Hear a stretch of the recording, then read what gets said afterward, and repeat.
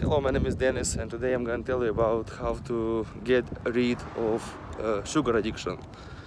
So as you know, your brain makes uh, association between the flavor of the food, flavor you're experiencing, and the nutritions your body gets gets after after after taking this food.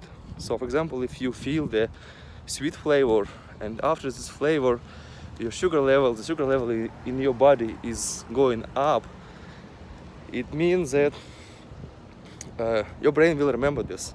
And if it's continue, continuously repeating again and again and again, your body will remember this. And uh, your brain will make this link, will make this association. And uh, here you go, you have a sugar addiction. So next time you just want to something sweet, all, all the time you want something sweet, it's not enough. You want more and more and more and your hands shaking and you cannot stop. I know this feeling. So what you need to do you need to cheat your brain. So you should break this link.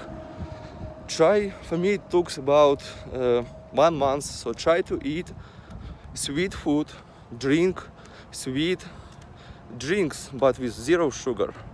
So just use sugar substitution. Sweeteners and uh, put them to the to the baking products, the bread, to the cookie if you make them at home, to any other food that you consider to be sweet.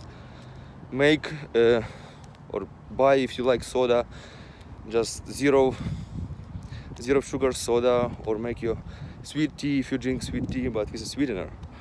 And uh, after some time, you will you will realize that the, your brain will broke this connection between the uh, sweet flavor and real elevation of sugar of sugar in your in your blood. So this link is broken.